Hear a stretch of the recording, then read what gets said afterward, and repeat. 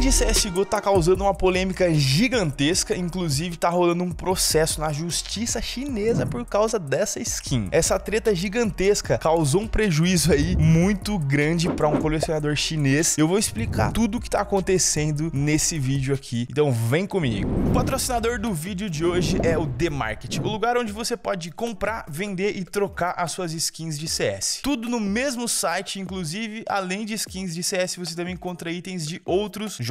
Você pode depositar do jeito que você preferir, utilizando qualquer uma das opções de depósito e também pode fazer a retirada do seu dinheiro instantaneamente, até mesmo por PayPal, se você preferir. As skins no The Market têm um preço muito competitivo, bem abaixo do mercado da Steam. Eu sempre reforço que não vale a pena comprar skins direto na Steam, porque elas são bem mais caras. O link tá na descrição, se você comprar ou vender uma skin, deixa um comentário aí para eu saber como é que foi a sua experiência e bons investimentos aí em skins de CS para todos vocês.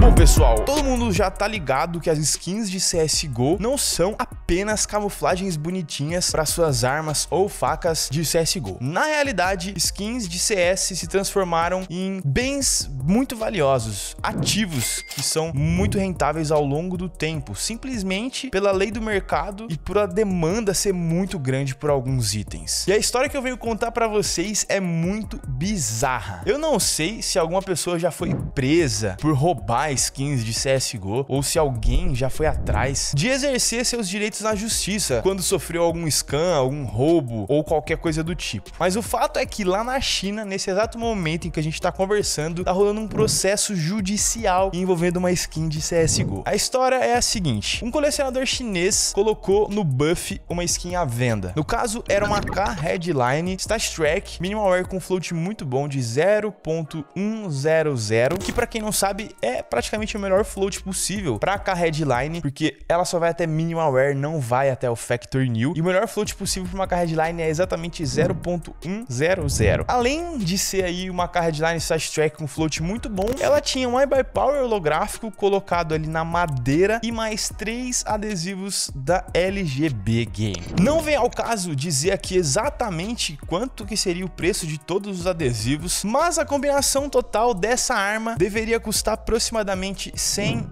mil yuans, convertendo aí para nossa moeda 80 mil reais. E o antigo dono dessa skin iria anunciá-la por 110 mil yuans. Eles sempre colocam um pouquinho acima do valor para poder ali receber alguma barganha e aceitar uma oferta um pouco abaixo do valor que o item está ofertado. Mas o que aconteceu? Na hora desse colecionador de skins chinês anunciar a skin no Buff, esse site chinês gigantesco de compra e vendas de skins, em vez vez dele colocar 110 mil, ele colocou apenas 11 mil yuans, meus amigos. Ou seja, uma skin que deveria estar tá sendo anunciada por aproximadamente 88 mil reais, na verdade foi anunciada por apenas 8.800. Ou seja, um descontão aí de 80 e o que, que aconteceu? Rapidamente, um outro colecionador de skins da China percebeu que o preço estava muito errado para uma skin desse tipo e comprou a skin no ato. Pagou aí 11 mil yuans. Só que o que, que acontece, pessoal? O vendedor dessa AK-47 poderia ter cancelado a venda. Ele poderia não ter entregue a AK-47, visto que o preço estava completamente errado. Mas mesmo assim, ele acabou entregando e realizando a venda e achando que o comprador estava pagando 110 mil que ele queria. Acontece que depois dele perceber esse erro, ele tentou de todas as formas entrar em contato com o comprador para receber realmente uma explicação, né, do que, que tinha acontecido, por que, que o cara tinha comprado por apenas 11 mil. Mas daí já era tarde demais, né, meus amigos? Vamos combinar que daí a merda já tinha sido feita. Essa história aconteceu há algumas semanas atrás e eu vi ela no Twitter. Algumas pessoas realmente comentaram a respeito porque a venda ficou pública. Todo mundo conseguiu ver que essa skin tinha sido vendida por apenas apenas 11 mil yuans. E acontece que essa não é uma única skin do mundo. Existem algumas outras AKs com esse mesmo craft de 1 Power e 3 LGB e todas elas estavam sendo vendidas por mais de 100 mil yuans. Todas que estavam listadas no buff, pelo menos, estavam acima desse preço de 100 mil yuans. E ele vendeu por apenas 11 mil. Bom,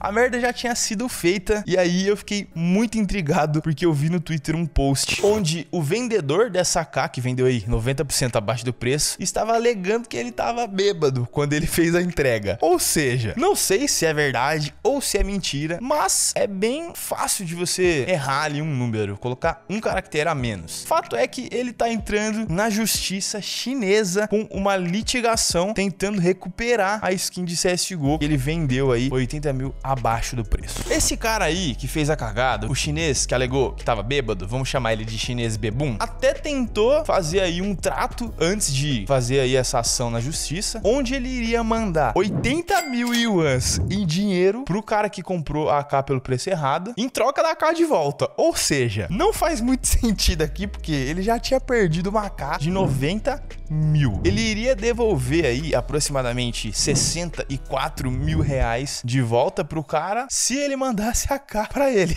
aí o prejuízo dele, em vez de ter sido aí 80 mil reais, seria um pouco menor, porque a AK já deu uma valorizada, não tá mais valendo apenas aqueles 110 mil yuans que ela valia na época ali da venda. Mas o que aconteceu é que o cara que tá aí com a e pagou só 11 mil yuans recusou essa proposta, deletou o vendedor da AK, não quis saber do negócio e acreditem ou não, a skin ainda tá inventada desse cara, o inventário tá público, todo mundo tá conseguindo ver a história e tem todos os detalhes ali da transação do item. Tem print da venda no buff pelo preço errado, tem realmente histórico de o item sendo mandado de um perfil da Steam pro novo comprador, ou seja, tudo tá ali preto no branco, dá para provar realmente que essa skin foi vendida por um preço errado. Mas como a gente tá falando de uma skin, a gente não tá falando de um carro que tem tabela FIP, que tem documento, que tem placa, que tem ano, quilometragem. A real é que a justiça chinesa tem que decidir por ela mesma se essa skin vale mesmo 110 mil yuans, como ele tem tentado provar, ou se, como o cara vendeu por 11 mil yuans, vai ficar por isso mesmo, acabou. Eu achei muito interessante os papéis aqui dessa litigação da China. E só para deixar bem claro,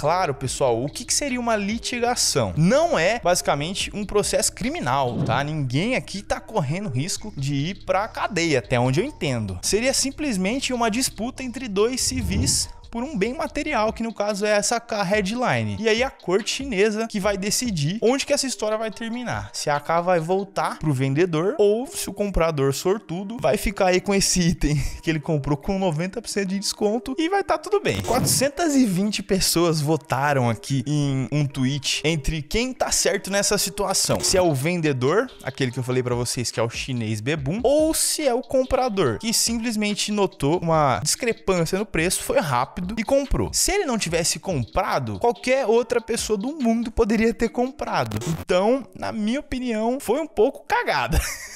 o que, que você que tá assistindo aí acha? Quem que você acha que tá certo perante a lei? Aquele que vendeu pelo preço errado ou aquele que comprou pelo preço certo? Bom, eu acho que é o seguinte: se você entra em uma loja, em um mercado, e você olha um preço em uma etiqueta, você quer pagar aquele preço. E aí, se você chega no caixa e vê que o preço tá errado, você vai acabar discutindo com a pessoa. Poxa, mas estava apenas esse preço ali na etiqueta. Agora, quando a gente tá falando do mercado virtual, onde você não tem essa conversa, essa comunicação, você simplesmente clica no botão e em dois cliques o item que você deseja é seu, eu acredito que esses erros aí de preço realmente tem que ser uma cagada aí a, se aceitar, digamos assim. Por isso que em muitos locais, como por exemplo em exchanges de Bitcoin, você não consegue vender o Bitcoin a um preço muito abaixo do mercado. Se você tentar vender um Bitcoin ali, por exemplo, por 4 mil dólares, sendo que a cotação tá 40 mil dólares, não vai dar certo. Por que, que você não vai conseguir vender a 4 mil dólares? Porque já vai ter uma oferta de compra a, por exemplo, 39 mil dólares. Então é impossível você vender esse ativo por 10% do preço. Agora, voltamos naquelas questões ali de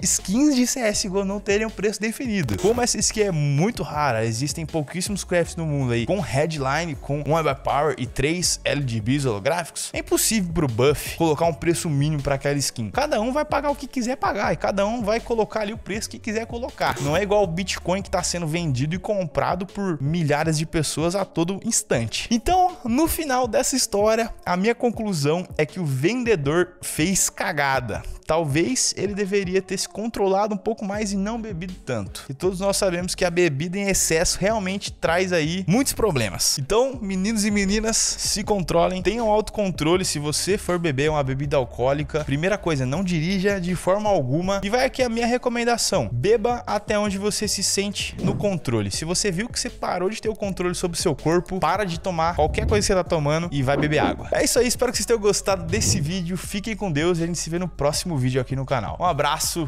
falou!